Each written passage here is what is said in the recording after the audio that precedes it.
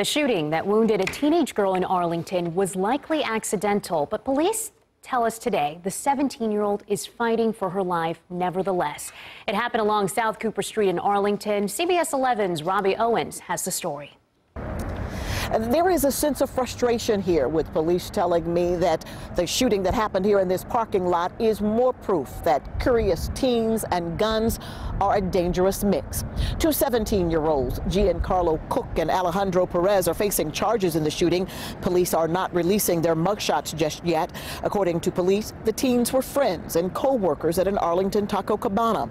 Late Thursday night, they were sitting in a car in this parking lot when Perez, who was in the back seat, found a gun gun. He told police he removed the magazine and thought the gun was unloaded when he pulled the trigger, striking the teenage girl who was sitting in the front passenger seat. According to police, the driver, Cook, had purchased the gun from another teenager.